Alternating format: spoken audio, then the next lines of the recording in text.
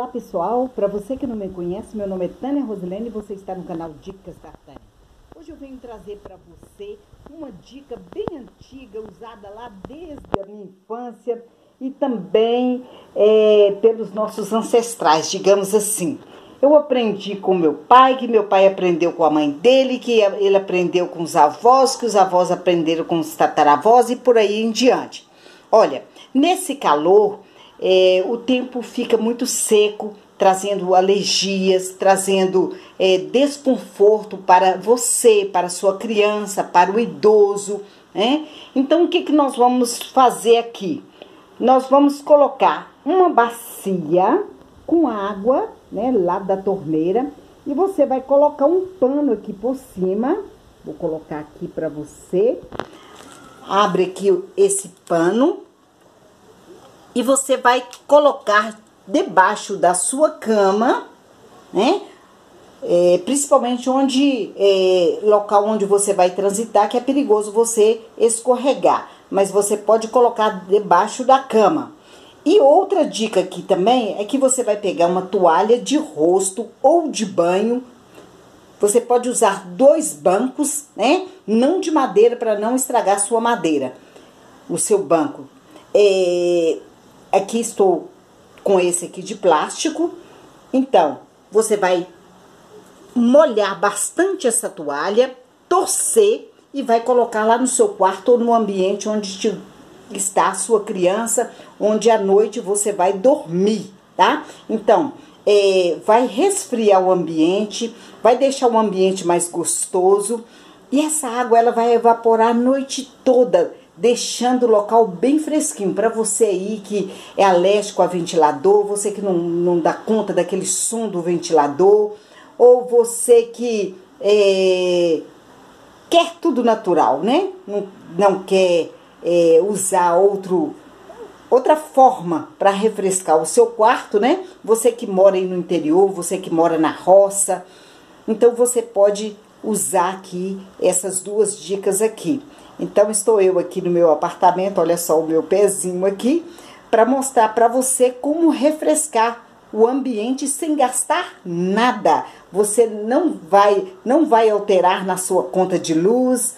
É, e é seguro, seguro desde quando? Quando você coloca essa bacia aqui debaixo da cama ou de, debaixo de um armário, cuidado com criança, não deixe no local onde você pode é, transitar, onde você vai transitar, para que você não caia, não escorregue, não deixe o piso molhado. E aí você vai é, usar toda noite no seu quarto ou mesmo no ambiente, na sala onde está o seu bebê, onde você está, e você vai notar que o ambiente vai ficar gostoso, vai ficar fresquinho.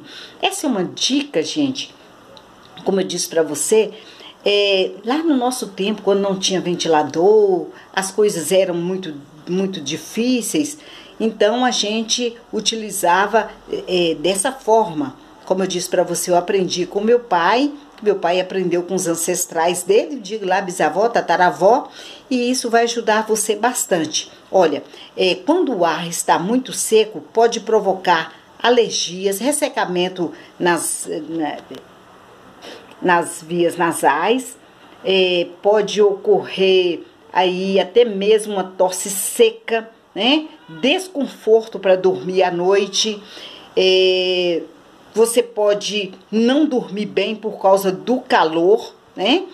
Então está aí também uma dica do mosquiteiro, né? Você que tem criança, onde tem muito mosquito ou tem muito pernilongo, você pode comprar o mosquiteiro. Já existe sim um mosquiteiro. Você vai colocar lá no teto um preguinho, né? É, ele, quando você for comprar, é, onde compra, Tânia? Onde vende tecidos, né? Você pode estar perguntando onde vende. Então, eles vão mostrar para você e vai ensinar para você como colocar esse mosquiteiro na cama de casal, na cama de solteiro ou até mesmo no becinho do seu bebê. É, evitar é, picada de inseto no seu bebê, em você, é muito importante para a sua saúde, porque a gente não sabe de onde vem esse inseto, tá bom? Então está aí mais uma dica da Tânia como refrescar o seu ambiente sem gastar nada. E se você gostou dessa dica, vai aí, compartilhe com seus amigos, deixe aí o seu gostei. Se você ainda não é inscrito no canal Dicas da Tânia, vai aí, se inscreva, vá no sininho todas para você não perder nenhuma novidade. E fala aí para mim nos comentários que forma você refresca o seu ambiente sem gastar nada.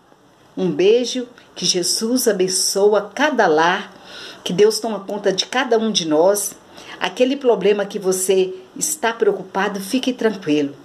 Deus já está na sua causa, Jesus está na sua causa, tá? E fique com Deus.